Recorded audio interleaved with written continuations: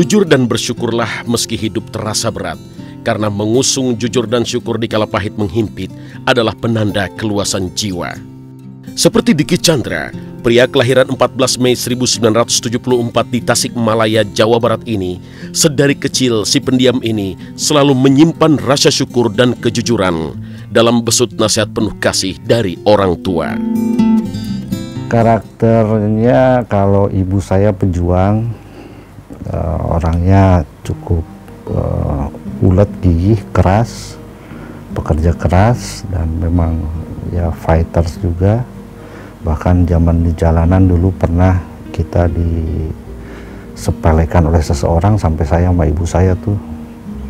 Jadi zaman dulu masih zaman bandel-bandelnya pernah berkelahi barengan ibu. Jadi barengan berdua sama ibu di salah satu mobil umum jadi saya ibu saya kurang lebih gayanya gitulah rock and roll. Kalau almarhum bapak saya lebih kalem lebih tenang tapi cuek. Dia tidak uh, ya sangat cuek sekali. Uh, dalam hal penampilan dalam hal apa dia sangat easy tidak terlalu ingin merepotkan orang. Dan dia tidak pernah mengharuskan sesuatu kecuali yang terkait dengan uh, perintah uh, agama yang lainnya dia cuek aja. Dia hanya minta supaya lakukan segala sesuatunya secara profesional. Uh, apa pun juga jangan jangan nanggung. Kalau mau jadi penjahat jadilah penjahat yang profesional. Kalau mau jadi orang baik jadi orang baik orang baik. Itu jangan jangan jadi penjahat terus pura-pura baik yang seperti sekarang banyak yang begitu kan ya. Dan usahakanlah selalu berkeringat kalau mendapatkan sesuatu jadi kalau saya dikasih THR kan tidak berkeringat. Jadi saya muter dulu lari-lari, tas sudah keringatan baru saya terima THR. Hidup susah dan serba kekurangan adalah fragmen takdir yang digariskan bagi putra pertama dari empat bersaudara, pasangan almarhum Raden Mukti Chandra Negara dan Mingratnih tersebut. Hari-hari Diki di masa kecil adalah hari-hari temaram yang jauh dari kerlip gemintang kesenangan keluarga saya termasuk keluarga yang uh, uh, keluarga yang tidak berlebih. Bapak saya cuma cuma guru SMA. Uh, eh, saya kebetulan sudah tidak tinggal sama ibu dari kelas 6 SD. Jadi sudah di jadi ibu saya udah tinggal di Garut, bapak saya di Tasik, saya tinggal sama bapak bersama adik saya yang laki-laki, yang perempuan ikut sama ibu. Hmm, hidup kami ya sederhana-sederhana aja sih ya, biasa-biasa aja. Bahkan di era zaman saya masih muda, orang-orang pada naik motor, saya nggak bisa naik motor karena saya nggak punya motor. Jadi dulu saya punya prinsip, saya harus bisa naik mobil, saya harus bisa naik motor, tapi punya sendiri. Saya harus punya, saya bisa pakai celana kalau saya punya celana sendiri. Kalau nggak punya nggak punya sendiri nggak pakai-pakai. Jadi memang prinsip saya saya nggak mau uh, nggak mau pinjam, nggak mau pakai punya orang, saya harus punya pakai sendiri dan itu ternyata memberikan motivasi pada saya untuk berusaha bisa memiliki segala sesuatu yang saya inginkan dengan keringat sendiri. Kehidupan desa adalah guru kearifan yang menyegarkan jiwa Diki, menjadikannya pribadi sederhana juga tak sombong hati. Diki yang pertama kali menimba ilmu di Sekolah Dasar Negeri Citapen, Tasikmalaya, mengalirkan banyak kisah yang begitu sederhana dan apa adanya. Terus terang kalau dari saya jujur aja dari sisi pendidikan saya agak jeblok. Cuman di awal-awal saya selalu lumayan turun ke anak saya yang ketiga. Anak saya yang ketiga rankingnya ranking dua. Tiba-tiba ke sininya turun. Gitu. Jadi memang pemalas. Saya juga sama begitu. Ini bukan bukan contoh yang baik. Tapi untungnya sadar sehingga mau berusaha untuk memperbaiki diri. Uh, dari sisi prestasi saya kurang baik, dari uh, pendidikan juga cenderung uh, males, suka bolos juga sekolah dan ini bukan contoh yang baik dan ada penyesalan yang cukup besar yang saya rasakan sekarang. Kenapa nggak dulu saya belajar? Karena kan anak-anak sekolah pada malas matematika, percayalah jangan sampai males karena matematika itu ternyata melatih otak. Bahkan saya sekarang belajar lagi belajar berhitung lagi untuk memperlancar pola pikir. Karena ketika kita mau mempelajari matematika dari sejak dini kita akan lebih cepat dalam menyelesaikan masalah dalam menemukan solusi. SMA ada dua saya di SMA ini yang Parhon Parakan Honje dan SMA 2 Tasik.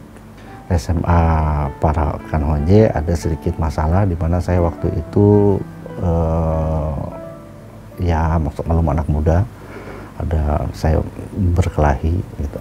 Ya sama anak-anak situ sampai cukup lumayan lah. Waktu itu saya memang diserang banyak satu lawan berapa itu ya akhirnya bapak saya mungkin melihat kondisi itu akhirnya saya dipindahin.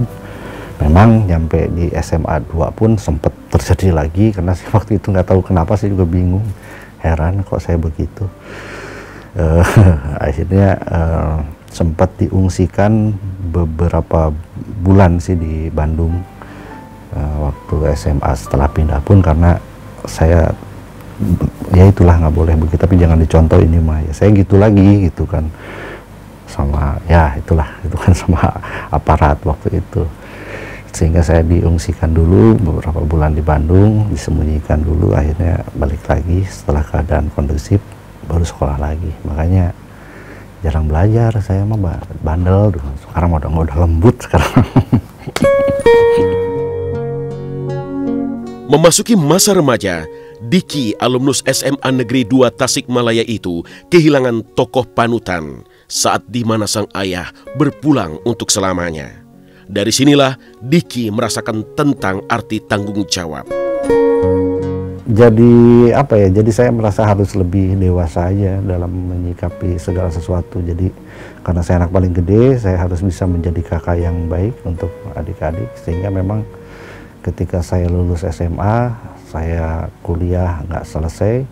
Dari situ saya harus mengambil sikap bahwa saya harus menjadi orang tua untuk mereka gitu kan jadi ketika almarhum meninggal aja saya duduk tidur tuh begini. Di, dia almarhum tidurnya baru bisa nyenyak kalau tidur di punggung saya selama berhari-hari. Jadi kalau misalnya dia tidur di kasur udah nggak bisa pasti sakitan nangis.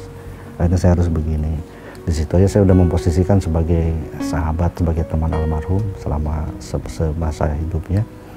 Sakit dan akhirnya meninggal dan akhirnya saya menjadi bapak untuk semuanya termasuk uh, apa ibu saya sendiri.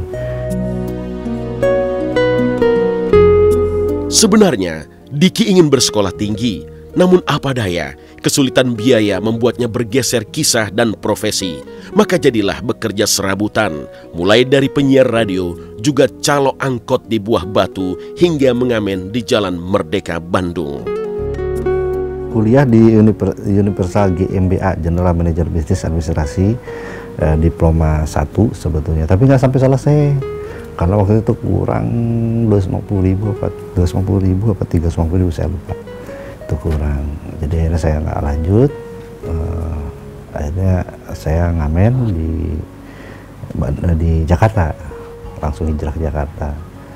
Hijrah ke Jakarta ayah saya masuk ICU kurang lagi duit untuk rumah sakit. Akhirnya saya pergi ke Jakarta nyampe Jakarta meninggal deh almarhum bapak saya di rumah sakit Adven waktu itu pas baru saya nyampe Jakarta uh, ya dari situlah spirit untuk menjadi bapak menjadi besar gitu kan. Makanya nggak ada waktu untuk bandel-bandelan seperti pemuda yang lain. Jadi kalau saya pulang ngamen tuh di Atma Jaya saya di bis ngeliat ya kadang suka nangis lihat anak-anak kuliah pada ketawa-ketawa pengen gitu kan. Saya makanya ketika sekarang saya melihat anak-anak yang kuliah anak yang sekolah yang tidak menghargai waktu sekolah dan kuliahnya sayang banget gitu kan saya aja pengen sampai hari ini dulu pengen gitu kan rasain kok mereka menyanyiakan dan itu betul saya rasakan waktu itu dulu gitu kan